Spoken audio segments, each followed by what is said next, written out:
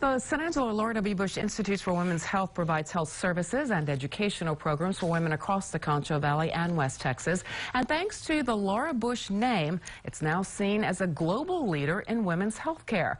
I talked with Laura Bush when she was here last month for Laura Bush Presents. The Laura Bush Institute for Women's Health is at the Texas Tech uh, Medical Center, and uh, there are chapters all over our part of the state.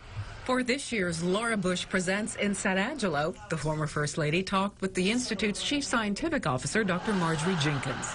Her primary goal in giving her name to this institute was really the women in West Texas where she grew up. West Texas, which is where, of course, I'm from, uh, where George and I both grew up in Midland.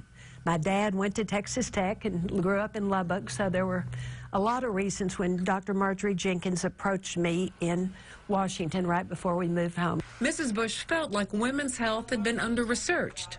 A lot of research on health has been done with men, working with drug companies, for instance, on dosage, so that women don't overdose because the prescription is what a man would take and uh, get something less in all different prescriptions. So that's the kind of research that the Laura Bush Institute is doing. They're working on things to be able to customize health to women.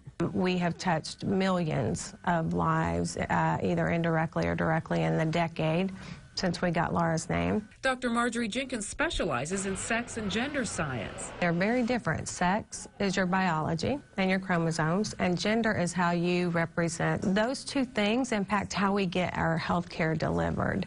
Now she's in Washington working at the FDA's Office of Women's Health, answering questions about drug and medical device safety. We are the global leaders in education about sex and gender around the world, the Laura Bush is seen as the leader.